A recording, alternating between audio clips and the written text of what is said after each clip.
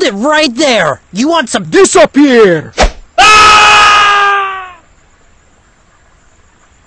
Okay, now that we are finally safe, where to next? I heard the headless horseman lives somewhere in these woods. Oh, let's pay him a little visit. I mean, what could possibly go wrong?